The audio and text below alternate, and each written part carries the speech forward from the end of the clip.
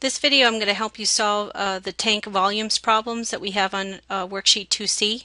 So I'm taking the first rectangular tank and um, I want you to assume that the dimensions that have been provided are in inches. So this is 24 inches by 56 by 96 or uh, if you want to convert everything to decimal feet this would be 2 feet by uh, 4.667 feet because that would be 4 feet 8 inches uh, by 8 feet.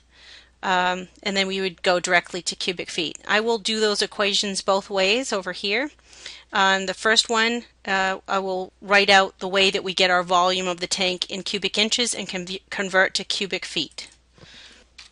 Alright, so here's how we write out the equation. 24 inches times 56 inches times 96 inches equals 129,024 inches cubed.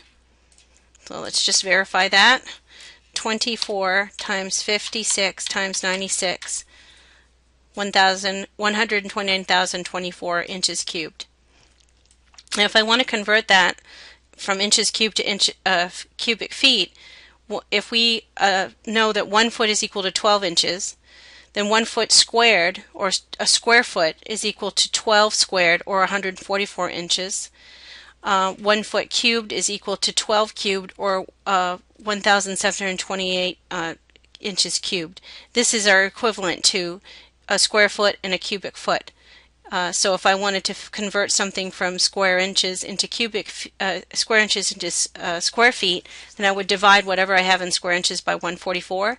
If I wanted to convert something to cubic inches from cubic inches to cubic feet, I would divide that number one, by 1,728 to get my answer. So here's my final answer for cubic feet would be 1,000 to uh, 100 excuse me 129,024 inches cubed divided by 1728 inches cubed per cubic foot is 74.667 feet cubed.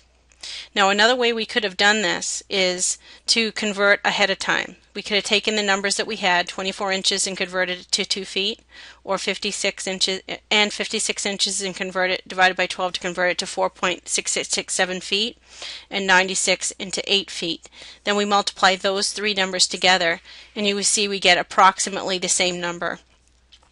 Now because we aren't using as many decimal places here, this is 47.67 instead of 47.67, but we essentially get the same answer um, uh, to the to the second decimal place. Um, rest of this is redundant. There we go. So that is um, two different ways to get to the same answer. Okay. Uh, in the next video, I'll show you how to solve for the rounded tank.